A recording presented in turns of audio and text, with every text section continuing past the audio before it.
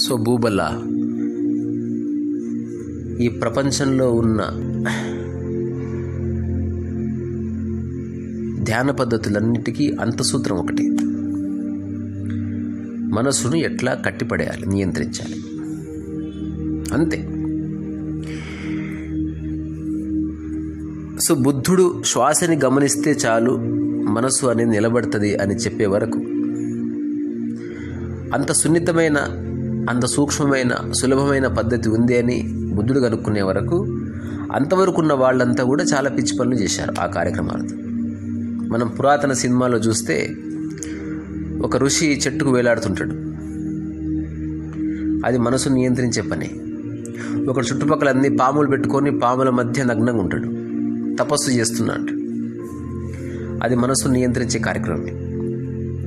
లేదా ఒకడు తినడం మానేసి బుద్ధుడు అదే చేశాడు చాలా కాలం. తినడం మానేసి ఆకలిది ఆకలి ఉన్నప్పుడు నీకు వేరే ఆలోచనలే ఉండవు. నీకు ఆకలితో కథ సతమతం అవుతున్నప్పుడు నువ్వు అమ్మాయి వైపు ఎందుకు చూస్తావు బెంజికారు వైపు ఎందుకు చూస్తావు? లేదా సక్సెస్ కావాలని ఎందుకు అనుకుంటావు? ఓహో ఆకలి అనేది మయ- మనసు నియంత్రించడానికి ఒక సాధనం అయి ఉండొచ్చు అని వాడు అనుకున్నాడు. మంట పెట్టుకుని మంట మధ్యన నిలబడేవాడు. లేకపోతే ఒక సముద్రపు ఒడ్డున పెద్ద గుంత తీసి ఆ గుంతలో శరీరాన్ని అంతా పెట్టి తల ఒక్కటి బయట పెట్టి తపస్సు చేసేవాళ్ళు. ఇవన్నీ మన సినిమాలో చూస్తున్నాం. రావణాసురుడి దగ్గర నుంచి మన మహాభారతంలో ఉండే రకరకాల మునులు ఋషులు మౌనులు వీళ్ళంతా చేసిన మూర్ఖ పనులన్నీ అవే. యాక్చువల్గా ఏమిటంటే ఎలా నియంత్రించాలో తెలియని కారణంగా వాళ్ళు చాలా కష్టపడ్డారు. ఇంకొకటి ప్రపంచంలో ప్రతి మనిషి తన మనసును నియంత్రించాలని అనుకుంటున్నాడు. సమ్హౌ ఫర్ ఎగ్జాంపుల్ ఒకడికి ఉమ్ము అంటే సిగరెట్ తాగాలనిపిస్తుంది. తాగడం తప్పని వాడికి తెలుస్తుంది. తాగడం వల్ల వచ్చే సమస్యలు తెలుస్తున్నాయి. కానీ తాగకుండా ఉండలేకపోతున్నాడు. ఈ తాగాలన్న ఆలోచన ఎక్కడ పుడుతుంది? మనసులో పుడుతుంది. ఈ ఆలోచన రాకపోతే ఎంత బాగుండు? అన్నప్పుడు వాడు మొదట ఒట్లు పెట్టుకుంటాడు. సిగరెట్ డబ్బా కనబడకుండా చూడ చూస్తాడు. ఫ్రెండ్స్ని కలిసినప్పుడు వాడి జోబులో ఉన్న సిగరెట్లు పడేస్తాడు. అంటే ఏది కనిపించినా వాడి మైండ్ చంచలం అయిపోతుంది. సో ఏదేమైనా నియంత్రించాలి ఎట్లా? సో తన సా- తనకు సాధ్యమైతే లేదు. ప్రయత్నం చేసి. అప్పుడు ఎవరు వచ్చారు? ఒక పూజారి ఒక ఫాదరు ఒక గురువు. అంటే నాకు సాధ్యం కాని దాని గురించే కదా నేను వెళ్ళేది. ఇప్పుడు పైరవి చేసుకుని నేను జాబ్ తెచ్చుకోగలిగితే పైరవి ఎందుకు? సచివాలయానికి పోయి నాకు ఏం రా జాబ్ అంటే ఇచ్చేస్తే పైరవి ఎందుకు? నీ నీ పరిధిలో లేదు నీకు సాధ్యం కాదు కనుకనే ఒక అధికారి. అధికారికి సాధ్యం కాకపోతే ఎమ్మెల్యే ఎమ్మెల్యేకి సాధ్యం కాకపోతే ఎంపీ ఎంపీకి సాధ్యం కాకపోతే మంత్రి మంత్రికి సాధ్యం కాకపోతే ముఖ్యమంత్రి లేకపోతే ఒక కేంద్ర క్యాబినెట్ మినిస్టర్. ఎవరి పరిధులు వాళ్ళకు ఉన్నాయి నీవు నీ అంతకు నీవు నియంత్రించుకోలేని కారణంగా. నిజానికి నియంత్రణ అనే పదం కరెక్ట్ కాదు. కానీ ప్రస్తుతానికి ఆ పదం వాడుతుంది ఎందుకంటే కాంటెక్స్ట్ అట్లా ఉంది కాబట్టి. నియంత్రించుకునే నియంతకు నువ్వు నియంత్రించుకోలేకపోతున్నావు కాబట్టి ఇప్పుడు నీకు ఒక వ్యక్తి యొక్క అడ్వైజ్ అవసరమవుతుంది. ఆ, ఇలా చేస్తే నువ్వు సిగరెట్ అనేది మాయమవుతుంది. సో మొట్టమొదటి స్టెప్ అంటే దాదాపు తొంభై శాతం మంది రాంగ్ అడ్వైజ్లు ఇస్తారు. ఎగ్జాంపుల్ నేను నా కళ్ళతో చూశాను. ఒక వ్యక్తి సిగరెట్ తాగుతున్నాడు. వాడు సిగరెట్ మానేయాలంటే బీడి తాగమని చెప్తాడు.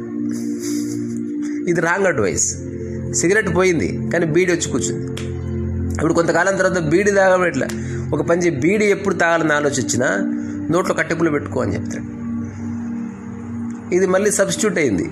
అరే నోట్లో కట్టెపులు పెట్టుకుంటున్నా కానీ నేను ఊతున్నా పోగొస్తలేదు నాకు డిస్టర్బ్ అవుతుంది అంటాడు అయితే ఒక పని ఒక బబుల్గమ్ నవ్వులు.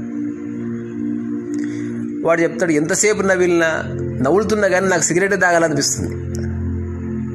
బబుల్ గమ్ రూపాయి వేస్ట్ నేను మలవై సిగరెట్ తాగుతున్నా అదే పది రూపాయలు వేస్ట్. అయితే ఇవన్నీ కాదు కానీ మా గురువుగారు ఉన్నారు ఆయన తాయెత్తు కడతాడు. సో అక్కడి నుంచి నీ యొక్క పాత అంటే నీవు నియంత్రించుకోవాల్సింది నువ్వు అర్థం చేసుకోవాల్సిన అత్యంత చిన్న విషయాన్ని ఇప్పుడు నువ్వు వేరే వాళ్ళ చేతిలో పెడుతున్నావు. అక్కడి నుంచి జీవితం నీ చేతుల్లోకి లేకుండా పోతుంది. గురువు ఒకటి చెప్తాడు ఒక మంత్రం ఇస్తాడు. ఉత్తగా చెప్తే నీ మైండ్ వినదు కాబట్టి దానికి పాపాన్ని లేకపోతే ఒక గిల్టీ ఫీలింగ్ న్యూనత భావాన్ని జోడించారు కొందరు చెప్తారు ఒకవేళ నువ్వు సిగరెట్ ముట్టుకుంటే నీ భార్య చచ్చిన తొట్టు అంటాడు. ఇప్పుడు సిగరెట్ తాగ తాగుకుంటే ఉండలేవు. ఒకవేళ తాగితే నీ భార్య కూడా నీకు గుర్తొస్తుంది. గిల్టీ ఫీలింగ్ స్టార్ట్ అవుతుంది అంటే ఒక మామూలు చిన్న సమస్యని లేదా చిన్న మనసుకు సంబంధించిన విషయాన్ని అర్థం చేసుకునే ప్రక్రియలో అది మనకు మనం ఎలా బయటపడాలి అనే సూత్రం మనకు తెలియకపోవడం వల్ల ఈ ప్రపంచంలో ఇన్ని ధ్యాన పద్ధతులు ముక్తి అంటే ఏంది? సిగరెట్ నుంచి విముక్తే. అంతే. ఈ ముక్తి కోరుకుంటున్న మేధావులు ఏం చెప్తున్నారు? అంటే ఏవైతే మనిషిని ఇబ్బంది పెడుతున్నాయో వాటి ఆ ఆలోచనలు వస్తలేవు. సంసారం ఇబ్బంది పెడుతుంది. సంసారం అనే ఆలోచన వాళ్ళు లేదు. ఆస్తి ఇబ్బంది పెడుతుంది. అన్ని త్యాగం చేసి పాడు దొబ్బాడు. ఆస్తి అనే ఇబ్బంది వాళ్ళు లేదు. శృంగారం ఇబ్బంది పెడుతుంది. అమ్మాయిని వదిలేశాడు. ఇంకా మహావీరుడైతే నగ్నంగా ఉన్నాడు. అంటే అట్లీస్ట్ ప్యాంట్ వేసుకున్న వాడికి అంగస్తంభన జరిగితే జరగవచ్చు అమ్మాయిని చూస్తే. బ్లఫ్ చేయొచ్చు. ఒక దిండో లేకపోతే ఒక అట్ట ముక్కను పైన పెట్టుకొని. మహావీరుడు బ్లఫే చేస్తలేడు. ఎక్కడికి నిలబడ్డాడు. అప్పుడు వచ్చిన ఒక అమ్మాయి నేను ఒక గొప్పవాడిగా చూస్తుంది. ఎందుకంటే ప్రపంచంలో ఎవరికి సాధ్యంగా అంది. నా యొక్క బ్రెస్ట్ కనిపిస్తున్న నా అందచందాలు కనిపిస్తున్న ప్రపంచం అంతా వెర్రెక్కిపోతుంది. ఇతను ఎంత చక్కగా నిలబడ్డాడు. ఇతను మామూలు వాడు కాదు. దానికి ఏకైక కారణం ఏంది? ఒక అందచందాన్ని చూసినప్పుడు ఏ అంశమైతే రేకెత్తుతుందో ఏ అంశమైతే యాక్టివ్ అవుతుందో దాన్ని డిస్కార్డ్ చేసిండు అంతే దానికి అతను చాలా కష్టపడ్డాడు వేరే సంగతి. ఆ కష్టపడ్డ పద్ధతి కరెక్టా తప్ప అనేది నా దృష్టిలో అది కొన్ని లక్షలకు వేల మందికి సంబంధించిన అంశం కాబట్టి దాని గురించి వ్యాఖ్య చేయను. కానీ అంత కష్టపడాల్సిన అవసరం లేదనేది నా అండర్స్టాండింగ్ అప్పట్లో ఆయన అలా చేశాడు దట్స్ గుడ్ కానీ అలా ఎంతమంది చేస్తున్నారు అనేది నెక్స్ట్ క్వశ్చన్ సో మనసును నియంత్రించే ఒకనొక ఆలోచన నుంచి ఇన్ని ధ్యాన పద్ధతులు ఇందరు గురువులు ఇన్ని సిద్ధాంతాలు ఇన్ని తంత్రాలు ఇన్ని మంత్రాలు ఇన్ని చింతకాయలన్నీ బయలుదేరినాయి. ఇన్ని పుస్తకాలు బయలుదేరినాయి. ఇప్పుడు మరి మనసును నియంత్రించడం ఎట్లా అనేది ఒకవేళ నన్ను అడిగితే నేనంటాను అసలు నియంత్రించనే వద్దు. దానికి ఒక అంతఃసూత్రం ఏమిటంటే సిగరెట్ తాగడు తాగొద్దు అని చెప్పే వాళ్ళందరూ నేనేమంటాను సిగరెట్ తాగు. కానీ దాని ద్వారా వచ్చే కాన్సిక్వెన్సెస్ని అంగీకరించే శక్తి ఉంటే తాగు. మందు తాగు పర్వాలేదు. నియంత్రించకు తాగాలన్నప్పుడు తాగకుండా ఉండాలని అనుకోకు. కానీ తాగిన తర్వాత నెక్స్ట్ తలనొప్పి లేస్తుంది మార్నింగ్. దాన్ని అంగీకరించి నువ్వు దాన్ని బ్లేమ్ చేయకుండా ఉండగలిగితే మందుని. అనవసరంగా తాగాను అన్న ఆలోచన రాకుండా ఉండగలిగితే. నువ్వు మందు తాగొచ్చు నీకు రైట్ ఉంది. నీకు సంబంధం లేని ఒక వ్యక్తికి నువ్వు ఒక సెక్స్ చేయాలన్న భావంతో చూడు చూస్తావో చూడు. కానీ అలా చేయడం వల్ల వచ్చే కాన్సిక్వెన్సెస్ ఏమిటి?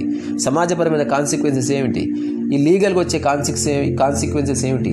ఏదైనా సరే అవసరం నన్ను జైలు వేసినా సరే నాకు ఊరేసినా సరే నేను అమ్మాయితో ఉండాలనుకుంటున్నా అనే కన్విక్షన్ నీలో ఉంటే నువ్వు ముందుకెళ్ళు.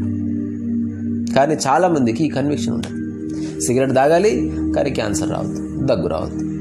మందేయాలి కిక్కు రావాలి కానీ లివర్ ఖరాబ్ కావద్దు. అట్లా కుదరదు. అట్లా ఉండదు. ప్రకృతి అనేది ఎప్పుడు దానికి కావలసిన రిజల్ట్ నీకు ఇస్తుంది. ప్రతి దానికి ప్లస్ ఉంటుంది మైనస్ ఉంటుంది. ఆహారం ఆరోగ్యం ఇస్తుంది. ఎక్కువ ఆహారం తింటే ఒబెసిటీ వస్తుంది. నిద్ర ఆరోగ్యాన్ని ఇస్తుంది. అతిగా నిద్రపోతే నీకు డైమెన్షియా వస్తుంది. నీళ్ళు నీకు మంచిది. కానీ ఎక్కువ నీళ్ళు తాగితే నీ నీ బాడీకి వీక్ అయ్యే అవకాశం ఉంది. నీ బాడీలో హార్మోన్ ఇంబ్యాలెన్స్ జరిగే అవకాశం ఉంది. నడక మంచిదే. అతి నడక నడిస్తే నీ కాళ్ళకు నరాల నరాలన్నీ ఉబ్బి అదేదో ఒక నాకు నోరు పలగని ఒక రోగం వచ్చే అవకాశం ఉంది. లేదా రెస్ట్లెస్ ఫీట్ వచ్చే అవకాశం ఉంది. డబ్బు మంచిదే కానీ ఎక్కువ డబ్బు వస్తే నువ్వు మనశ్శాంతి కోల్పోయే అవకాశం సో కరెక్ట్గా మధ్యలో ఉండాలి. అవసరమైతే అన్నీ వదిలేసి బీదవాడిగా అడగాలి అవసరమైతే అన్నీ ఉన్నాయని అక్కడ ఒక కింగ్లాగా బతకగలగాలి. పూర్తిగా బీదవాడిగా ఉండకుండా పూర్తిగా ధనికుడకుండా మధ్యలో ఉండాలి. సో ఇప్పుడు నియంత్రించడం వద్దు అంటుంది నేను. సో నియంత్రించకపోతే ఏం జరుగుతుందంటే మొదటి స్థితిలో కేయాస్గా మారిపోతుంది అనిశ్చితి ఏర్పడుతుంది. అంటే నువ్వు విపరీతంగా సిగరెట్లు తాగేస్తావు ఎందుకంటే నువ్వు నియంత్రించుకోవడం లేదు ఎవరు చెప్పడం లేదు. ఒకనొక రోజు నీ బాడీ అనేది నీ యొక్క పరిధిని దాటి అది చిక్కుల్లో పడుతుంది. అట్లాంటి సమయంలో నీకు రియలైజేషన్ వస్తుంది. ఎందుకంటే అది బయట నుంచి రాదు. హఠాత్తుగా నీకు అనిపిస్తుంది ఇక చాలు అనిపిస్తుంది. అలా అనిపించే వరకు నువ్వు చేయాలి. లేకపోతే నువ్వు ఒక మంత్రానికో లేకపోతే ఒక గిల్టీ ఫీలింగ్కో భయపడి లేదా ఒక గురువు గారు చెప్పారు అతనికి మాట ఇచ్చాను కాబట్టి అని ఒక అర్థం పడతం లేని ఒక ఆలోచనకి బందీ అయ్యి నువ్వు జీవితకాలం ఆచరిస్తావు. కానీ సిగరెట్ పట్ల నీకున్న వ్యామోహం పోదు. సరైన వ్యక్తి నిన్ను గోకితే నిన్ను మోటివేట్ చేస్తే సిగరెట్ తాగుతావు మళ్ళీ. అటు చాలామంది ఉంటారు మందు మానేసి పదేళ్ళు అయింది వాడిని సరిగ్గా మోటివేట్ చేస్తే వాడు మళ్ళీ మందు అవుతాడు కానీ ఒక్కసారి తాగాడే ఇంక ఇప్పట్లో పోదు సో దురలవాట్లు అనే ఆలోచన ఫస్ట్ తీసేయాలి అలవాటు అంతే. రెండవది ఏ అలవాటైనా అతిగా చేసినప్పుడు అది మన శరీరాన్ని మనసును డిస్టర్బ్ చేస్తుంది అని తెలుసుకోవాలి.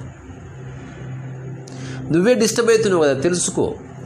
దానికి సమాధానం వేరే వాళ్ళ చేతిలో ఉంది అనుకోకుండా నువ్వే అర్థం చేసుకొని దాని ద్వారా వచ్చే అన్ని కాన్సిక్వెన్సెస్ని నేను అనుభవిస్తాను. నేను ఎవరిని బ్లేమ్ చేయను. సిగరెట్ తాగడం వల్ల నాకు క్యాన్సర్ వస్తే ఎట్లయితే సిగరెట్ పొగని ఆస్వాదిస్తున్నానో క్యాన్సర్ని కూడా ఆస్వాదిస్తాను. అని ఒక అండర్స్టాండింగ్ ఉన్నవాడు మాత్రమే దాని నుంచి బయటపడగలడు పడగలడు. మిగతా వాళ్ళు ఎవరు దాని నుంచి బయటపడలేరు. సో బుద్ధుడు శ్వాస మీద ధ్యాస లేదా ఆనపాన సతి అనే సూత్రం కనుక్కునే వరకు మనసు నియంత్రించడం అనేది అత్యంత క్లిష్టమైన ప్రక్రియగా మనిషి అనుభవి భావించిండు. కానీ మరి బుద్ధుడు చెప్పిన దానికంటే అత్యంత సున్నితమైన సూత్రం ఉంటుందా అంటే నేనంటున్నా ఉంటుంది. కానీ ఆల్రెడీ బుద్ధుడు లాంటి వాళ్ళు చాలా ఫేమస్ కాబట్టి వాళ్ళు చెప్పిందే సమాజం చేస్తారు. ఎందుకంటే దేని మీద ఒక దాని మీద ధ్యాస అయితే ఉంది కదా. సో ఇంకా మనసు సజీవంగానే ఉంది. అట్లా కాకుండా సమస్తం మీద ధ్యాస కనుక పెట్టగలిగితే అంటే అనేకాగ్రతం అనే జీవితం యొక్క మూలమైతే గనక అప్పుడు నేను ఆనపానసతి చేస్తున్నా అనే ఆలోచన కూడా ఉండదు. కానీ ఇది చెప్పడానికి లేదా భాష్యం చెప్పడానికి లేదా విశ్లేషించడానికి వీలు లేని ఒక ఒక కొత్త డైమెన్షన్ ఇది. ఎందుకంటే చేస్తున్న నేను లేను ఎలా చేస్తున్నానో చెప్పే కాంటెక్స్ట్ లేదు. ఒక్క మామూలు సాదాసీదా భాషలో చెప్పాలంటే ఈ సమస్తంలో నువ్వు హఠాత్తుగా మెరిటన్ మెర్జ్ అయిపోతావు నీకు సప్ నేను సపరేట్గా ఉన్నా నేను ఒక ప్రత్యేకమైన ప్రాణిని నా ఆలోచనలు ఇవి అని అలా అనిపించదు నీకు. ఈ రోడ్డు మీద క్రౌడ్ రోడ్డు మీద సుల్తాన్ బజార్లో నువ్వు నడుస్తుండొచ్చు. కానీ నువ్వు ప్రకృతితో మమేకమై ఆ నడకను ఆస్వాదిస్తావు. నీకు ప్రకృతికి మధ్య డివిజన్ ఉందని ఒక స్థితి. సో ప్రత్యేకంగా నువ్వు దేని మీద ధ్యాస పెట్టక్కర్లేదు. నువ్వు నేచర్గా జీవిస్తావు. నువ్వే నేచర్ అయి ఉంటావు. నేచరే నువ్వై ఉంటుంది. అక్కడ అన్ని అన్ని పద్ధతులు ఎండ్ అయిపోతాయి. కానీ ఇది చెప్పడానికి కుదరదు. తెలిసినవాడు అదృష్టవంతుడు. తెలుసుకునేవాడు అది కూడా ఒక రకమైన అదృష్టమే వాడికి అట్లీస్ట్ కొన్ని ఆప్షన్స్ ఉన్నాయి తెలుసుకోవడానికి. కానీ అందరూ తెలుసుకోకపోవడమే మంచిది. అందరూ తెలుసుకొని బుద్ధుళ్ళు అయ్యారనుకో బోరో చచ్చిపోతాం మనం. ఊర్లో ఎవడికి రోగం లేదు అందరు డాక్టర్లు అనుకో మనం బోరో చచ్చిపోతాం. అందరు పెయింటర్స్ అనుకో కొనేదేవుడు. అందరు లతా మంగేశ్వర్ అయితే ఇనేదేవుడు సో ఒక తాగుబోతు ఒక జూదరి ఒక వేశ్య ఒక పొలిటీషియన్ ఒక గురువు ఒక సన్యాసి ఒక సన్యాసి ఒక మౌని ఒక ముని ఒక చిత్రకారుడు ఒక చరిత్రకారుడు తర్వాత ఒక వ్యసనపరుడు ఒక భాష్యకారుడు ఒక జ్ఞాని ఒక అజ్ఞాని ఒక వైరాగి ఒక బైరాగి ఒక వీతరాగి. ఇట్లాంటి వాళ్ళందరూ ఉన్న ఉన్నప్పుడు ఒక వ్యాపారి ఒక సంసారి. ఇట్లాంటి వాళ్ళందరూ ఉండడం వల్లనే ఈ ప్రకృతి కానీ ఈ భూమి కానీ ఇంత అందంగా ఉంది. సో నేను మనస్ఫూర్తిగా కోరుకుంటున్నా ప్రతి జనరేషన్లో ఎవడో ఒక్కడికి జీవితం అంటే అర్థం కావాలి. మిగతా వాళ్ళు ఎవరికి అర్థం కావు అప్పుడు వాళ్ళకి బోల్డ్ అంత పని ఉంటుంది. వీడికేం పని లేదు అర్థమైనందుకు. వాళ్ళకి అర్థం చేయించే పని వీడికి ఉంటుంది దొందు దొందే. వీళ్ళిద్దరి వల్ల భూమి చాలా బాగుంటుంది రసో వైసారిసా